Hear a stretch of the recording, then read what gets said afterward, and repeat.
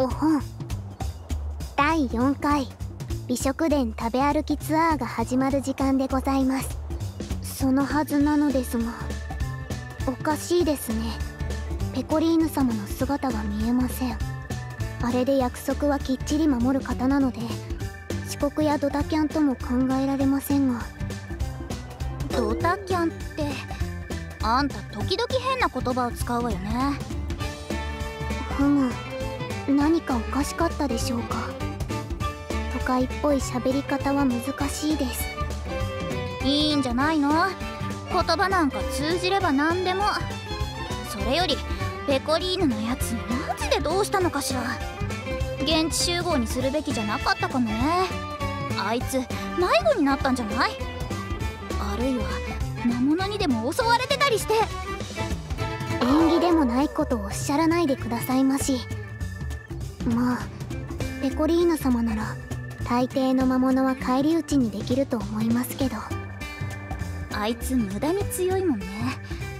だから私も苦労してるのよ。ふむ。キャル様は時々意味がつかみづらい発言をされますね。おーいみんなごめんなさい。遅刻しちゃいました遅刻ってありえないわよ。どこで何してたわけ？なぜか全身ずぶ濡れだけど。もしかしてあんた泳いで現地まで来たの？元気ね。私は面倒だったから魔法でひとっ飛びしてきたんだけど。私と主様は船で参りましたよ。主様が船酔いされてちょっと焦ってしまいました。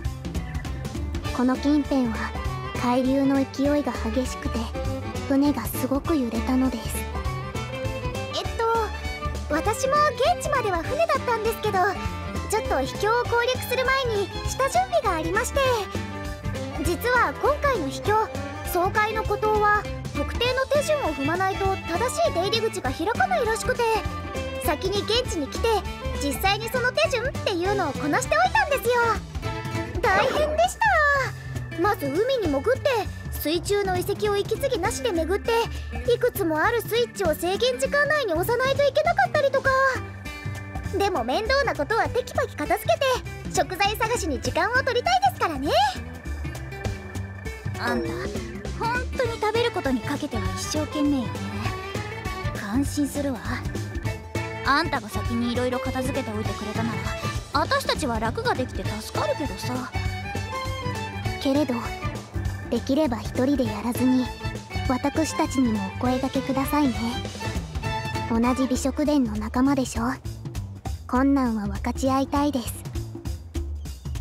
いやーでもキャルちゃんがいつも文句タラタラなのでめんどくさいことは私が先に片付けとこうかなって。余計な気遣いよ。私だってみんなでワイワイ騒ぎながら秘境を巡るのとかさ美味しいご飯を食べ歩きするのって嫌いじゃないんだから。次からは水臭い真似はしないでよ。どんなことでもみんなで一緒にやりましょう。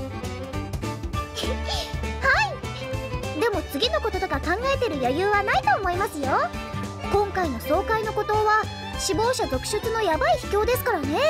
油断すると即死です。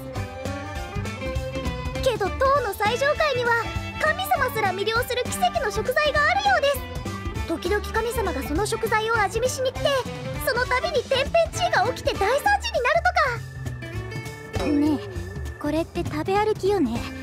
なんでそんな曰くありげな難所に挑まなくちゃいけないの？ごめん私やっぱり帰ってもいい？ダメですよ。キャルちゃんも食べ歩きは嫌いじゃないって言ったじゃないですか私ちゃんと聞いてましたからね。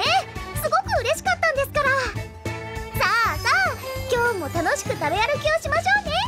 世界中の美食を味わっちゃいましょう。みんなで一緒に。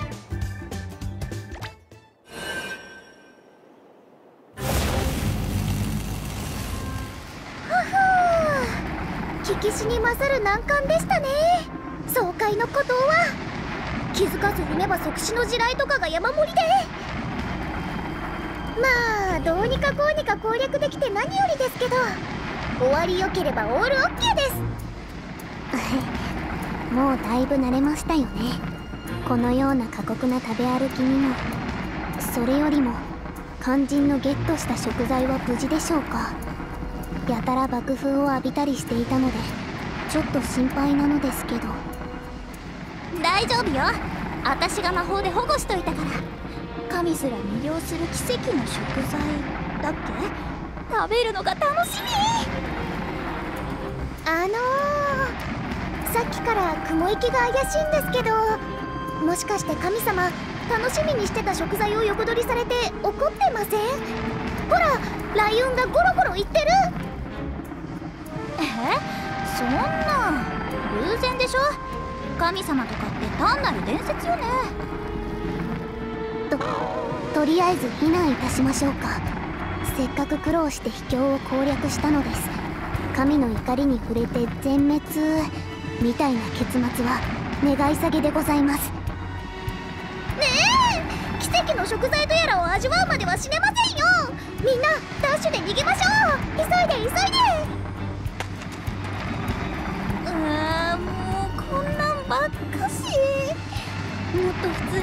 その辺の屋台とかを巡るだけでも満足できるんだけどな。